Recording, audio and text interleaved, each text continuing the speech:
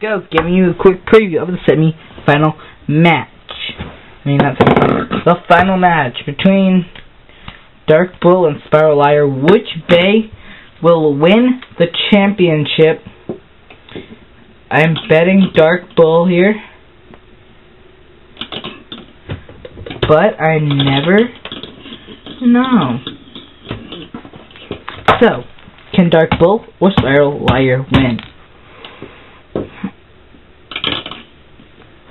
We'll find out.